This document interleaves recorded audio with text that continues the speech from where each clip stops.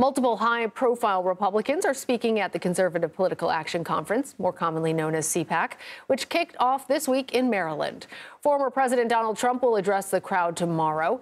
The annual conference also features several names of people who potentially could become his running mate if he, in fact, does win the GOP nomination. CBS News campaign reporter Allison Novelo is with us now from CPAC. Allison, good to have you. So, uh, Nikki Haley, she's still out on the campaign trail, but for many conservative voters, and this has been the case at CPAC for years now, Donald Trump already has it locked up.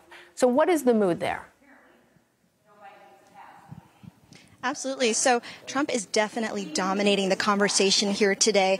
All the moderators, the speakers, the voters, everyone is talking about supporting Trump, voting for Trump in November. If you take a walk through the venue, you will find several brightly colored hats with MAGA displayed on them. You will see Trump's face on several t-shirts.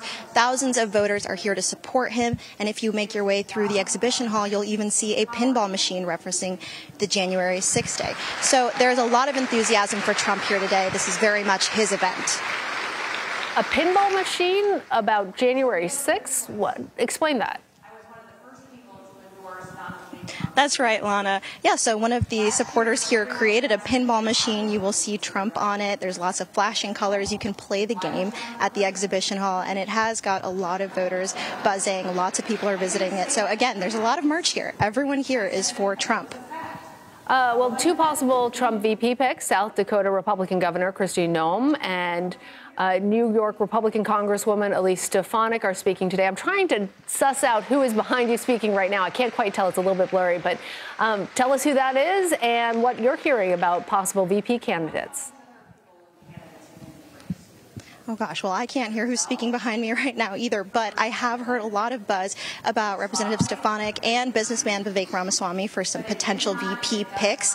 Uh, e- even yesterday, we heard one of the speakers say that he would like to see Governor DeSantis and Trump kiss and make up. So there's a lot of buzz around who's going to be the pick, and there's an informal straw poll going around as well where voters can talk about who they would like to see as Trump's choice. We'll find out the results for that tomorrow towards the end of the convention, uh, but there is a lot of of enthusiasm for that as well. That's what everyone's talking about. What are you learning about the conservative strategy for the general election, and what have people expressed to you as potential weak points that they're concerned about? Well, there doesn't seem to be any concerns when it comes to the former President Trump. Everyone here, again, is all for him. Everyone is pretty sure he's going to be the name on the ballot in November. Uh, everyone plans to vote for him, and everyone is calling for Republicans to coalesce around him. Uh, when it comes to issues, there's a lot of concern about the economy, inflation, border security. So those are topics that come up frequently, but they're not concerned about it when it comes to the Republican Party, and everyone is very confident that Trump will have the support for him in November. All right, Allison Novelo, thank you.